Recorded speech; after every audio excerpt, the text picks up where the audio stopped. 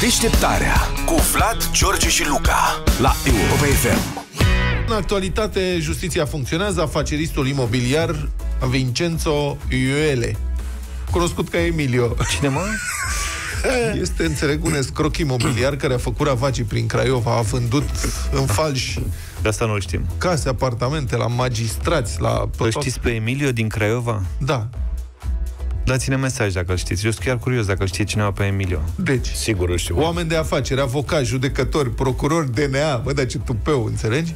Magistrația în judecătorii Craiova, de la parchetul de pe lângă tribunalul Olc și așa mai departe, milioane de euro, uh, i-a păcălit ăsta și a fost condamnat în cele din urmă să presteze muncă în folosul comunității la alegere, într-unul din următoarele două locuri. Yeah. 1. La un teatru pentru copii, Așa? în rolul lui Emilio, însuși Emilio. Mamă, ce judecător crud. Sau într-o bibliotecă pentru documentare la prima mână.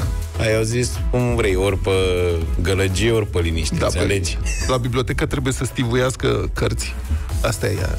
Îți dai seama, ce mișcare este la o bibliotecă? Adică ce pedeapsă este asta? Ați mai intrat într-o bibliotecă locală? Locuri excepționale. Mai sunt oameni care se duc, iau cărți, adică sunt acte de cultură acolo.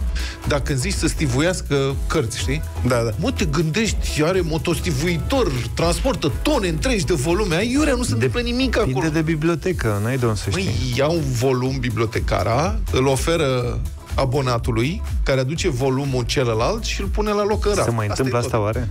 Oricum, punctul de atracție într-o bibliotecă a fost întotdeauna bibliotecara, nu cărțile. Acum o să fie Emilio. Treaba Acum o ta. să fie Emilio, Să da. povestească Poate așa. cum făcea Emilio. Să facă- Din să copii facă- la teatru. Cenaclu cu Emilio. Emilio! Ia luați loc, să vă spun. Deci se făcea ca ieri se făcea. A venit doamna judecător și a zis vreau și eu, dom, em, don Emilio, un apartament de trei camere mai bine plasat pe sud Da, da, în da. Craiova. Da. Iar la, la teatru va trebui să rupă bilete. Teatru pentru copii. Să rupă bilete la intrare. Bă, ce pedepse sunt astea, mă? Nu te supăra. Bă, acolo îl uh, chinuie copiii, dau șuturi engleze, de fac răutăți Lui era aia la... piciorului. Țipă la el. Fug. Da, ce să zic, mă, băiatule, asta este, deci... E Uh, cumplit, cumplit ce a da, fost. și aceeași condamnare pentru o perioadă de 120 de zile, nu 90 ca Don Emilio, uh, a primit-o și fosta șefă de la Cadastru Dolj în același dosar. Asta este. Te ne scriu ascultătorii. Emilio e un mafiot italian care a construit câteva blocuri, a avut o pizzerie și un restaurant. A fost condamnat în câteva dosare penale pentru înșelăciune. Deci omul avea mai multe talente, nu Bă, doar... dar ce tupeu, adică el s-a gândit să ducă să facă înșelătorie la procurori, judecători, magistrați. Adică Adică ce a prins. A țintit sus. pe principiu mă ascund la vedere. Știe nimeni totuși da, pe da, Emilio. Cine știe până ăsta? La uite că Laurențiu, da, nu, faimos. Victor. Victor are o experiență legată de Emilio. Salutare băieți!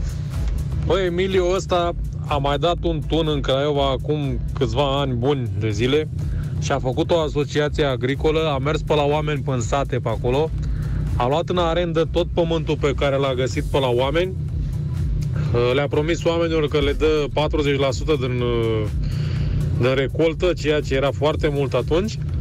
Oamenii au sărit grămadă să-i dea pământul ăsta în arendă, Ăsta la mișto n-avea niciun utilaj, n-avea nimic. A și-a închiriat un tractor, două, au închiriat niște discuri, niște pluguri, a arat pe acolo pe câmp la mișto, a semănat niște iarbă verde ce-o fi semănat el pe acolo. Și când a ieșit la recoltă, nu s-a făcut nimic, pentru că ăsta nu semănase nimic ce trebuia acolo. Și s-a dus el înainte și a luat sub- subvențiile, a luat o grămadă de bani, Înțelegi? a dispărut cu totul și s-a dus. Și lumea a rămas cu pământul pe roagă. Emilio și-a luat banii și acum aud de el pe Craiova. Bravo, Emilio! Deci, teoretic, n-ai ce să-i faci. El a încasat subvențiile pentru că subvențiile se dau pe bă, hectare. Uh-huh, Câte da. hectare ai ca asociație, da? Deci el și-a luat banii. După care și-a făcut treaba, a semănat ceva. și a, a dat 40% din nimic. Practic, n-a trebuit să dea nimic. Băi, este super acoperit, e super smart din Da, punctul mă ăsta rog, de nu vedere. cred că e așa, că contractul cred că are niște prevederi, nu merge chiar așa. Păi depinde Dar- ce a prevăzut Emilio, că el s-a dus cu contractul. Da, să gând cine o să mă dea pe mine în judecată, mă, do- mă dau în judecată oamenii aia săraci.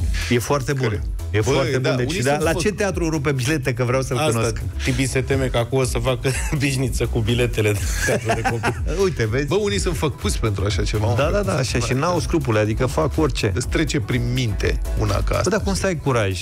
Tu ai fost vreodată să te duci la țară, să vezi oamenii aia, că sunt și unii, acum ai senzația că sunt bătrâni și așa, dar sunt și în unii în cap. forță, adică oamenii au lucrat și au muncit Ăia nu fizic glumesc. toată viața. Dacă îl păcălești, îți exact. dă cu cazmaua în cap, ce dai? Da, bravo, Emil. Deșteptarea cu Vlad, George și Luca la Europa FM.